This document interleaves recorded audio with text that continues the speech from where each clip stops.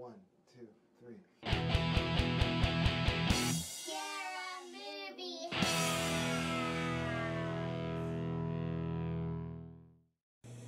What is up you guys, my name is Elias and I love movies and today I want to talk to you guys about the MPAA and how I don't really agree with it. This video was suggested by Superman51. Hope you're doing good man and I really appreciate this idea for a video. By the way, if any of you ever have a suggestion or an idea for a video or maybe a question that could possibly be answered with a video, please feel free to do so.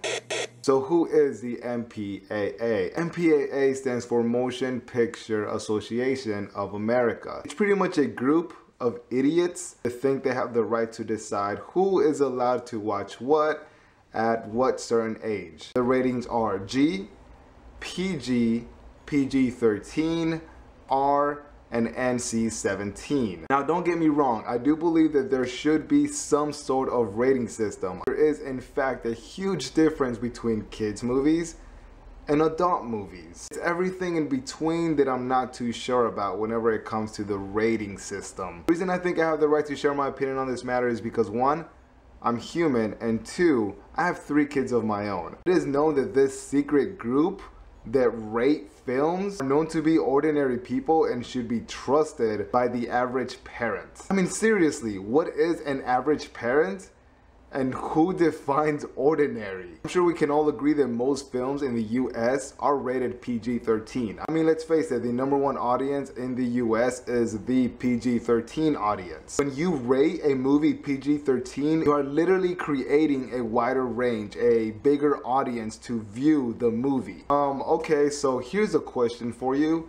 Who decides when a kid becomes an adult? We all mature differently we all find humor in different things. Every single person in the world is offended by something different. Just because a few curse words or a pair of tits or maybe even a dick offends someone does not mean it's going to offend the next person. There's nothing wrong with having a different opinion or liking something different because we are all entertained by different things. Why is it okay to give a comedy that has a male actor masturbating a PG-13, but a drama with a female actress doing the same thing a NC-17 or an R. A film that has nothing sexual but is completely covered in violence and curse words can get a PG-13. Or maybe a movie that has absolutely no sex, no nudity, no violence, but because you heard three fucks, it immediately gets an R?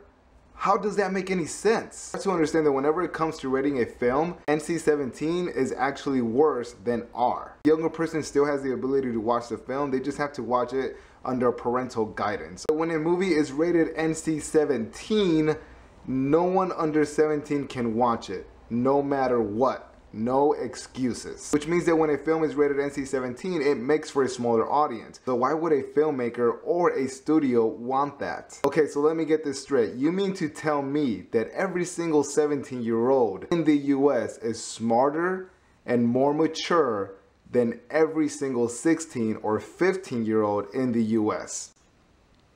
No makes no sense. Whenever a movie is done being shot and edited, it is immediately sent to the MPAA so that it can get a rating. The ratings do actually help promote the film. That's how the audience knows who is being targeted. It also helps them decide which theaters are going to be showing the movie and how many. Let's say a film does get an NC-17 rating, which already means most people aren't even going to be able to watch it. Most theaters won't play it and most stores won't even sell it. The MPAA is pretty much judging the artist for what they've created. The MPAA will then force the artist, the filmmaker, to present them a different cut of the film so that it gets a different rating. To understand that these filmmakers are artists and they work really hard in putting their projects together. And to force an artist to change his work just so that they can be allowed to show it to people is just wrong.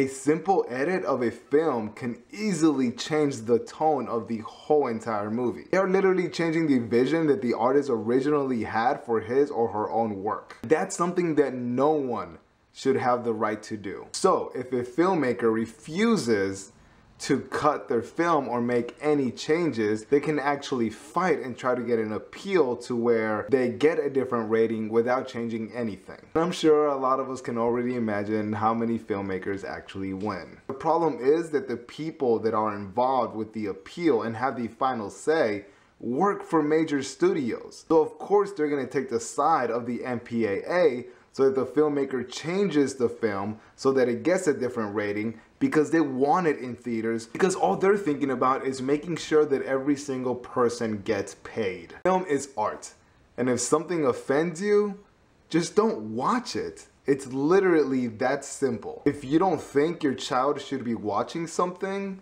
then don't let them. Like I said in the beginning of the video, there's a pretty big difference between children's movies and adult movies. There shouldn't be all of these ratings, all of these in-betweens. It should be as simple as possible. You have kids movies, you have adult movies, because who's to say what a person is mature enough to watch when every single person is different. Of course, I can't speak for everyone, but I believe that at the age of 14 and 15, I felt mature enough to watch NC-17 or rated R films by myself. But hey, this is just my opinion and maybe I'm taking it a little bit too seriously. Let me know what you guys think about the MPAA and the rating system. I know there's a lot that can be said on this and I know there's a lot of people out there with their own opinions. Please leave any comments that you have down below. Like the video if you like, subscribe for more videos if you want, and I will see you guys next time.